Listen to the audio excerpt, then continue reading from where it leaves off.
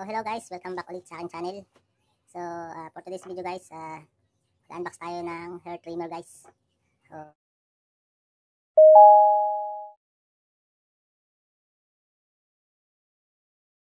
so tara guys, unbox natin.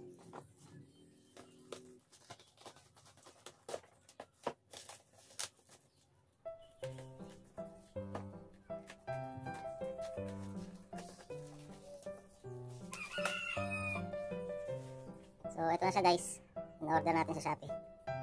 So, medyo ano na siya guys, may damage na yung karton niya. Pero sana yung loob is okay pa. At walang damage.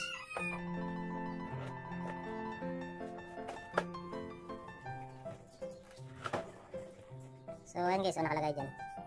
Easy change the light, the length. Oil bottle, cleaning brush. Yung mga laman niya guys, push type switch for easy operation. So sa gilid.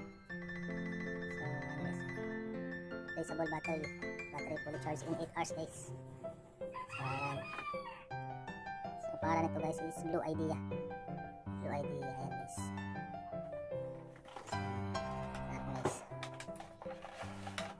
So, ito na yung laman niya guys. Yung kanyang ah, user guide, manual. So meron ito yung kanyang guys na ano, adapter, pang charge. So ayan.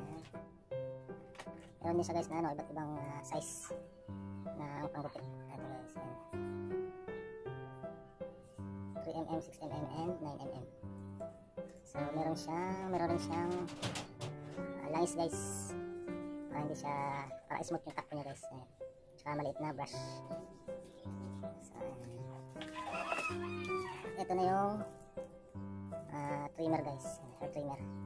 So ganda guys. Oh. Sa halagang 179 lang guys, ah, may, may hair trimmer ka na. So sana gumagana to guys. ah. Kasi minsan yung order natin sa Shopee is palpak eh. Hindi may iwasan. So ayun guys. So ito guys, on, natin. So yun. Ganda guys oh. Ayun oh.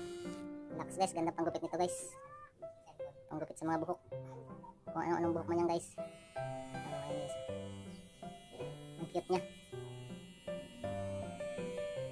Ang Lakas ng vibrate guys. Ito yung kanyang charging pin.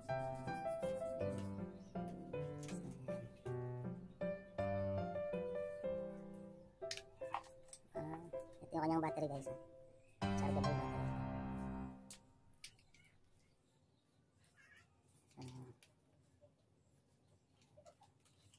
Testing natin guys kung nag-charge.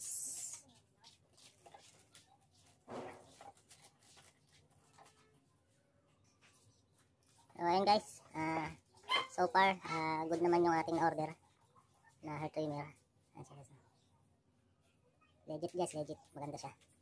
So, ayun guys, kung gusto nyo umorder guys, ah lalagay ko yung link dyan sa des- description guys. So, click, click nyo na lang yan guys.